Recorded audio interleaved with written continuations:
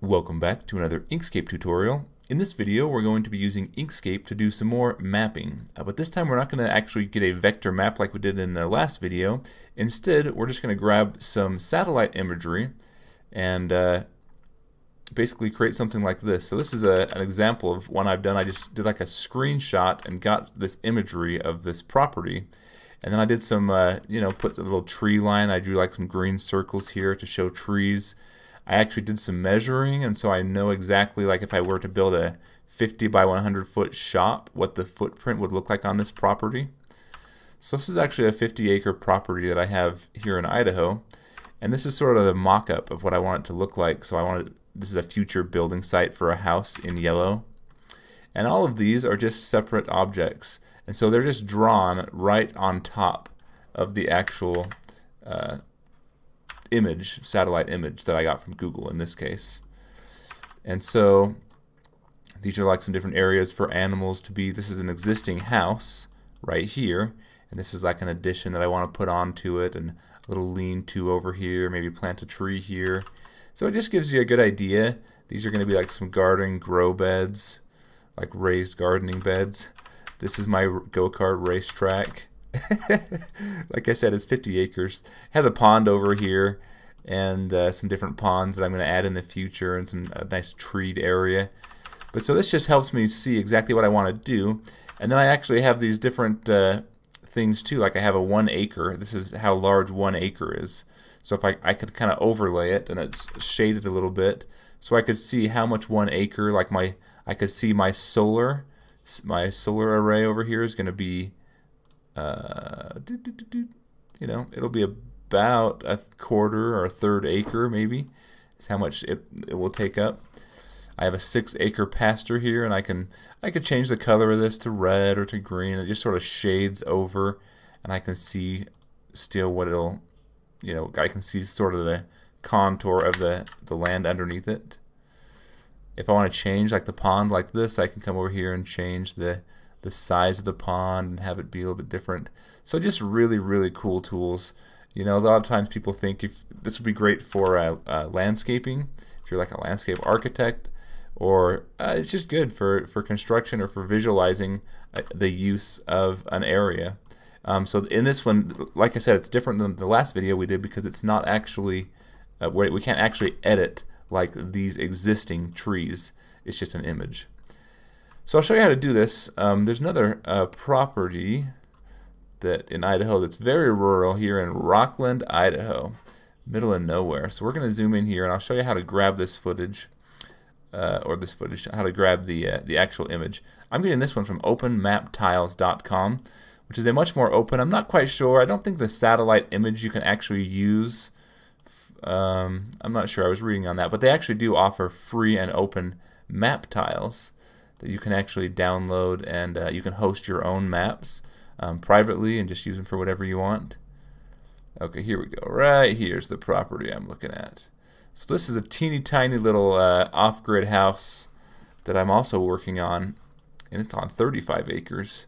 Let's zoom in and see if we can get some clarity on it. Looks like that's about as clear as it's going to give us, unfortunately. So I'll zoom out a little bit here. But uh, the property goes, in fact, maybe I want to draw the property line. So what I'll do, I'll just copy this part of the image. To do that, there's some browser plugins you can install that you can actually make an area selection and just select it. But I'm going to do the print screen key. So I'll just hit print screen. Uh, on Windows, that'll save it to your clipboard. So then you could open up a program like GIMP or even like Microsoft Paint, and then you can right click and go paste. In fact, we might be able to even do that here. If we right click and go paste, let's see. No, I don't think it put it into our clipboard because I'm on Linux here. And so what I need to do, let's just go File, New. And I'm actually going to, let's, uh, I'll just, I'll, I'll find where that was, got saved to, which I think is my home directory. It's this one right here. Perfect. So now we've got this imagery. I'll make this full screen. And so I actually have two monitors, but this is the one. And I could bring it into uh, to GIMP and crop it. But for now, I can just leave it just like this. And now I can actually come over and draw over top of the building and make different notes on here. What is going on? Right click. Let's go to fill and stroke. Turn my stroke size down to something more manageable. And bring up opacity to 100%. Okay. We got some very wacky colors going on here.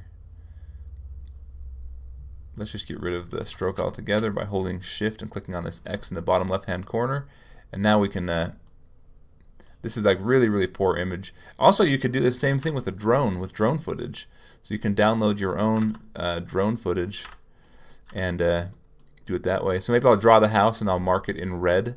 And then if I want to do the border of the property, I can get the uh, Bezier curve tool. And I just know this is actually where my property line goes. So I'm going to click it goes just about like this. This is the 35 acres. Does it? Oh, no, no, no. It goes up here. Does it? Yeah, it does. Oops. It goes about to this little canyon over here. Now, I might not go that far. Now I'll close this off and it creates a black line. And then I can click uh, a color. So we'll do, maybe we'll do a, let's do a blue. And then this one I can come over here to opacity under fill and stroke and turn it down. Oh, I have the image selected right now. I'll make sure that the object is select selected. Oh, that's blend mode. That's the opacity of the image. Let's do this.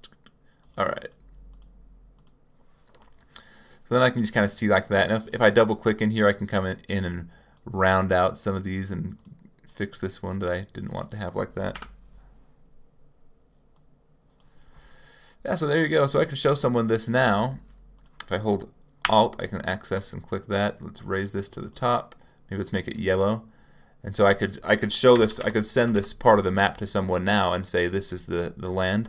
And I could put uh, a note in here that says 35 acres. We'll turn it white. So, so you can see this is probably a really good tool for realtors or contractors or anyone that needs to make notes on on top of existing imagery. It's a really, really good way to go. And I could draw like an arrow. You can do arrows actually too. Let me show you that. So if we did uh, this curve tool again, we just, oops, I get the wrong tool.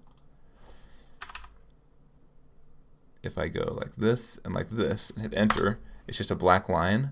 And then we go into fill and stroke and we can change it over here so it has oh it's not right there it's the ending. So the marker put an arrow oh on the other end.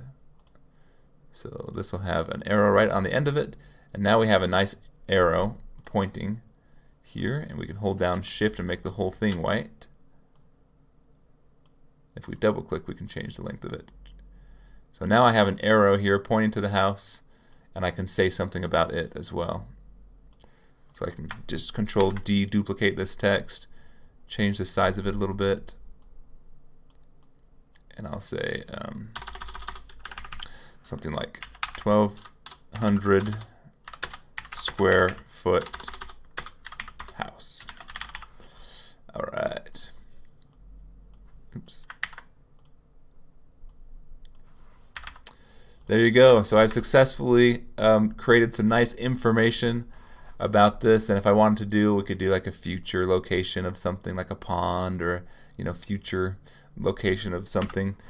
But yeah just a really great way that you can uh, quickly get in and add uh, a vector layer over top of an existing raster image like this. Uh, and then to export this what I would do is sometimes I'll just come over here and actually draw just a, a box over the part I want to export and then I turn down the opacity all the way down and then I just go to File, Export PNG Image and I just export the selection. I make sure selection is, is clicked right here and then I just go, uh, we'll go export as, we'll send it to pictures and we'll call it prop info.png and hit save. And now we hit the export button uh, that did that, yeah, and I could change the, the size if I, if I wanted to of that. And now we can uh, come out of full screen here and we can go and see what that looks like. Where's our, do, do, do, right here.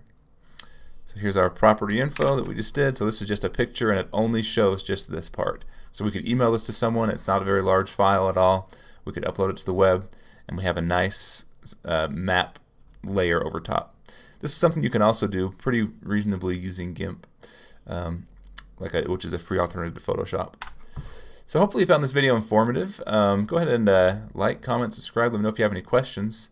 Um, and I'll catch you in the next video.